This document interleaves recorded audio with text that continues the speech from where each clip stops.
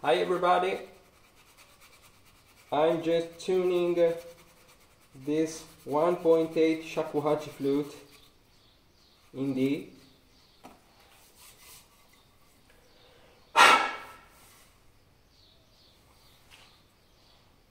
from uh, Madake bamboo cane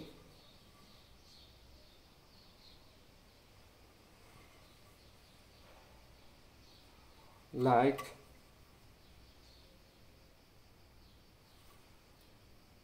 Hochiku for now, but after I put inside the Urushi lacquer and maybe I make here a Hutaguchi inlay. In my opinion, this flute become a very great instrument. It has a really great tone. Really nice sound.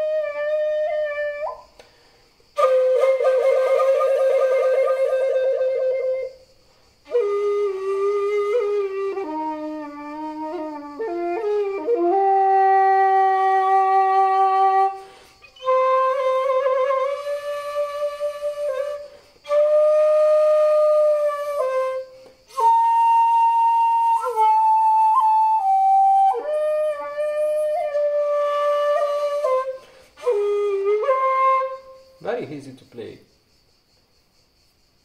It's a funny flute.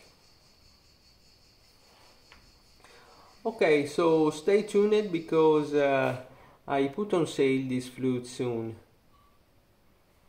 Bye bye!